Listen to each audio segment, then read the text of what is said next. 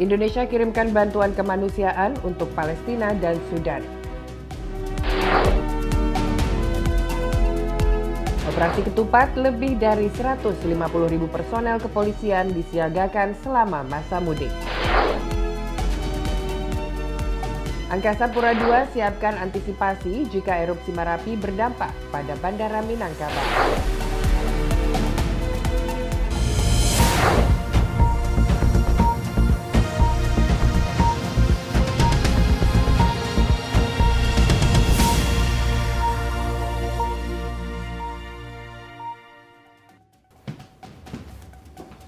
Selamat malam pemirsa, saya Arya Sindiara kembali hadir menyapa Anda dengan tiga berita pilihan dari dalam negeri.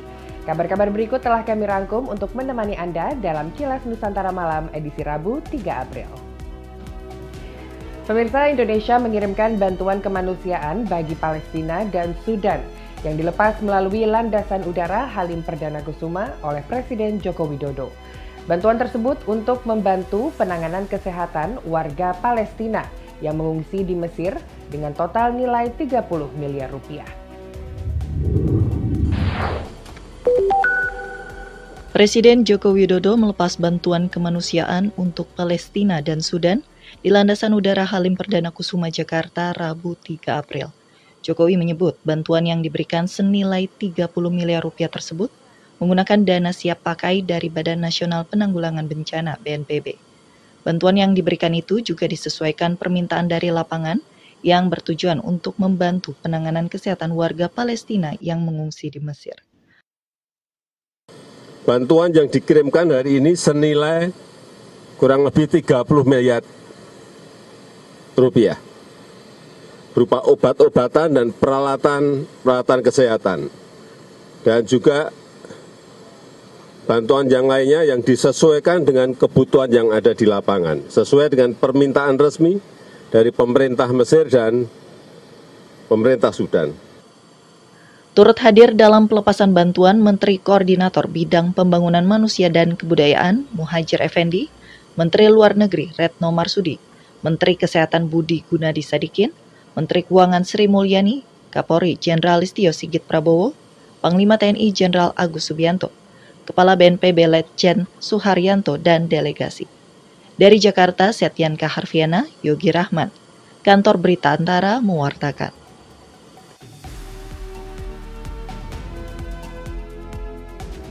Selanjutnya pemirsa, sebanyak 155.165 personel gabungan disiagakan selama masa operasi ketupat 2024. Operasi tersebut dilakukan guna memberikan pelayanan dan pengamanan bagi para pemudik.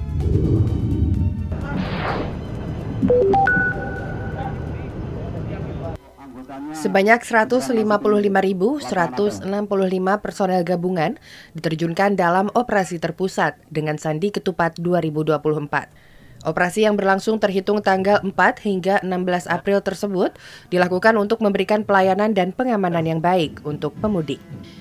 Kapolri Jenderal Listio Sigit Prabowo ditemui usai memimpin apel gelar pasukan di Jakarta Rabu 3 April mengatakan ada 5.784 pos telah disiapkan. Ribuan pos yang terdiri dari 3.772 pos pengamanan, 1.532 pos pelayanan, dan 480 pos terpadu itu dipersiapkan untuk memberikan pelayanan dan pengamanan, utamanya pada jalur-jalur rawan seperti kemacetan, kecelakaan, kriminalitas, bencana alam, serta pusat keramaian.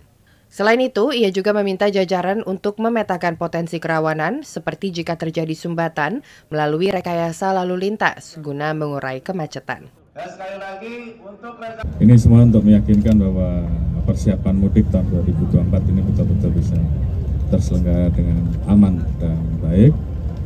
Tentunya kami mengimbau karena kepadatan yang luar biasa apabila masyarakat bisa melaksanakan mudik lebih awal tentunya akan lebih baik karena tentunya uh, akan mengurangi potensi kemacetan di jalan. Kapolri pun memastikan survei kepuasan masyarakat atas penyelenggaraan dan penanganan arus mudik tahun 2023 yang mencapai 89,5 persen tersebut juga harus dipertahankan. Dari Jakarta, Pradana Putra Tampi, Kantor Berita Antara, mewartakan.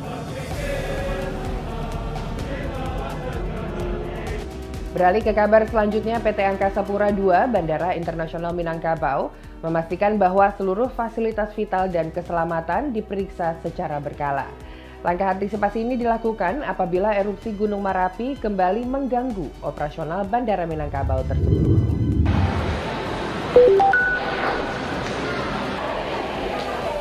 Sejak Gunung Marapi di Sumatera Barat mengalami erupsi besar pada 3 Desember 2023 lalu, setidaknya telah lima kali operasional Bandara Internasional Minangkabau di Kabupaten Padang Pariaman Sumbar ditutup sementara.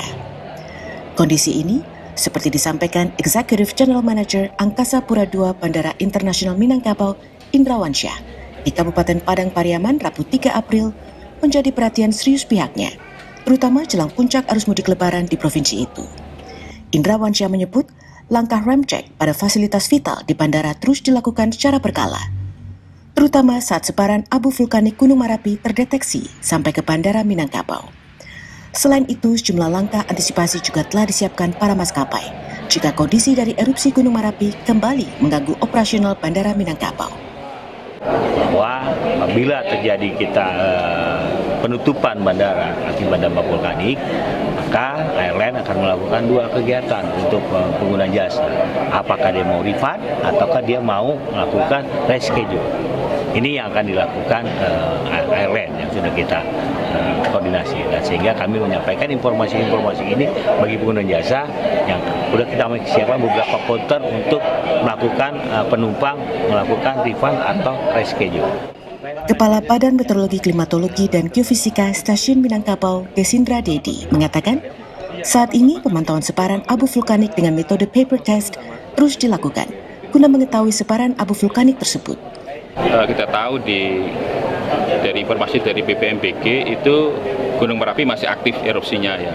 Sehingga akan kita pantau terus dari BMKG arah sebarannya. Ya, mudah-mudahan sih di angkutan lebaran ini arahnya tidak mengarah ke bandara. Karena kalau saya mengarah ke bandara maka kita harus menyiapkan beberapa skenario kan, terkait dengan uh, angkutan lebaran ini. Data yang dihimpun Angkasa Pura II Bandara Internasional Minangkabau sepekan jelang Idul Fitri 1445 Hijriah lalu lintas penerbangan dalam kondisi normal dengan 36 keberangkatan dan 35 kedatangan dengan jumlah penumpang berkisar 6.000 hingga 7.000.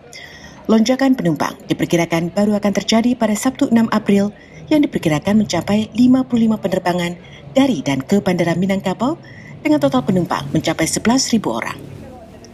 Saat ini telah ada lima maskapai yang mengajukan penambahan jam keberangkatan yang dimulai dari Jumat 5 April hingga Senin 15 April mendatang. Dari Kabupaten Padang, Pariaman, Sumatera Barat, Fandi Yogari, Kantor Berita Antara, mewartakan.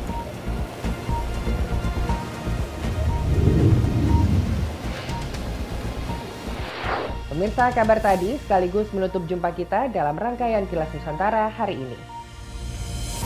Informasi terkini lainnya dapat Anda akses setiap saat melalui laman antaranews.com, YouTube Antara TV Indonesia, serta melalui kanal media sosial kami at Antara TV.